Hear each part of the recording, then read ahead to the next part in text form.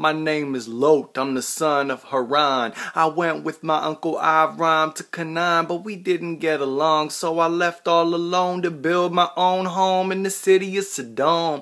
It was wicked fun until the Holy One sent some angels to come tell me I better run. Now the only thing I got left is my life, two daughters, and a pillar of salt for a wife.